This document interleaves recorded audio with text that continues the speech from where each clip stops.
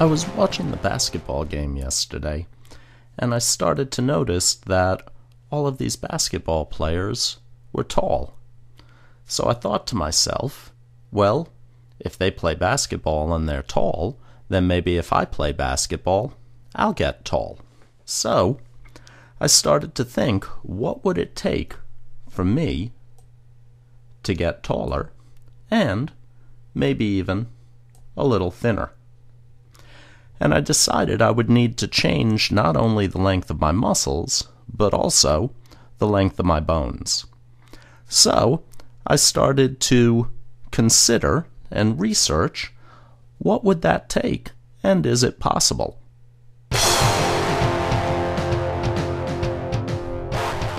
Muscles have four properties excitability, which is the ability to respond to stimulation, such as the stimulation of the nervous system, telling the muscles when to contract.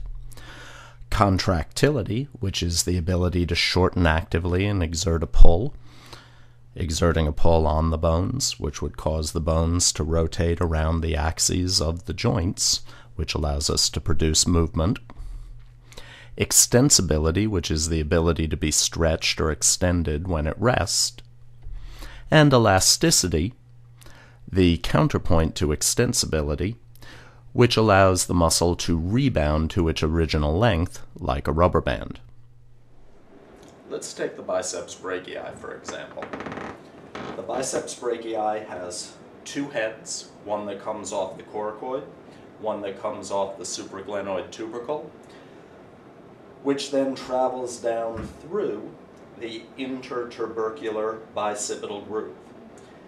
It has a common attachment on the radius, which is the movable bone of the forearm. When the bicep has normal tone and is healthy, the elbow is slightly flexed. Suppose that we lengthened the bicep. Well, if this was due to neurological dysfunction, then we would have a flaccid paralysis and the elbow would be hyperextended and just flop. If we were actually able to lengthen a muscle, then what would happen is that the bicep would get longer and longer and suddenly become a floppy mess hanging on the front of the humerus provided, of course, that it still had its same insertion and origins. Now we just have a longer muscle that's going between these attachments. Thixotropy is a property of colloids, and our connective tissues are colloidal in nature. This property, thixotropy, basically means that when the tissue, the connective tissue, is cool, it is less able to be extended and has less elasticity.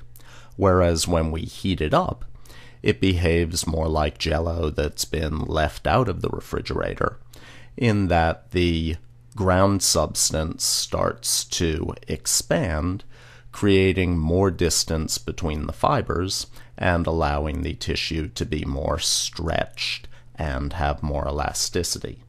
This is one of the main reasons that warm up and stretching are not the same thing. Critical interfiber distance is what we achieve when we start to warm up the tissues and when the tissues are healthy. This critical distance between the collagen fibers allows us to maintain both the extensibility property of the tissue as well as the elasticity property of the tissue.